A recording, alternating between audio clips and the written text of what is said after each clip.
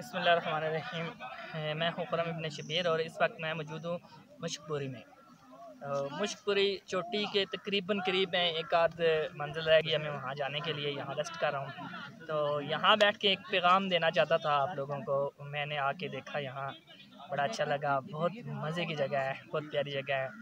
پھول بھی ہیں، پہاڑ بھی ہیں، سبزہ بھی ہے، ہوا بھی بڑی پیاری ہے، موسم بھی بڑا اچھا ہے۔ پرندے بھی اڑ رہے ہیں۔ جو بھی قدرتی چیز ہے، وہ ساری کی ساری اچھی ہے جو پرابلم ہے، وہ یہ ہے۔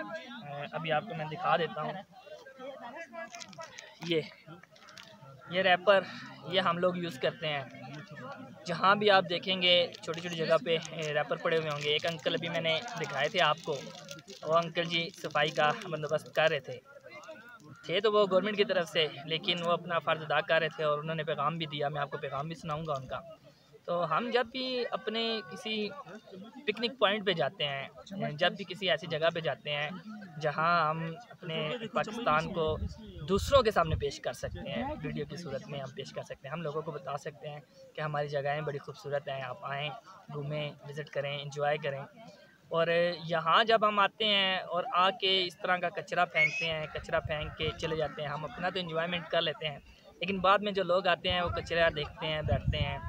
آپ لوگ جب بھی یہاں آئیں، کھانا کھائیں انجوائے کریں، چیزیں استعمال کریں، لیکن اس کا ایک طریقہ کار ہے کہ اگر تو یہاں آپ کو ڈسٹ بین کہیں نظر آتا ہے تو آپ اس ڈسٹ بین میں ڈال کے رکھیں۔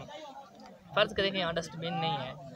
تو پھر آپ ایسا کر لیں کہ یہ جو کچرا ہے سارا اس کو اکٹھا کریں، اکٹھا کر کے ایک شاپر کے اندر ڈالیں، ایک بیگ کے اندر ڈالیں، بیگ کے اندر ڈال کے اس کو آپ کسی جگہ پہ رکھ دیں۔ جب آپ کسی جگہ پہ رکھیں گے تو یہاں جو صفائی کا عملہ ہے وہ آئے گا اور آ کے صفائی کرے گا، اٹھائے گا تو اس کے لیے آسانی ہو جائے گی۔ ایک ایک ریپر اٹھانا جو ہے تھوڑا مشکل ہو جائے گا۔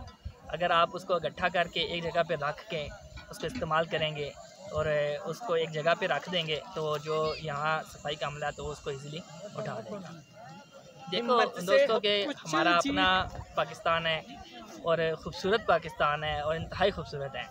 اس کو گندہ کون کرتا ہے؟ ہم لوگ گندہ کرتے ہیں اس کو۔ ابھی میں آپ کو اس ویڈیو کے بعد یہاں کی صرف خوبصورتی دکھاؤں گا۔ جو خوبصورتی ہے وہ ساری میں آپ کو دکھاؤں گا۔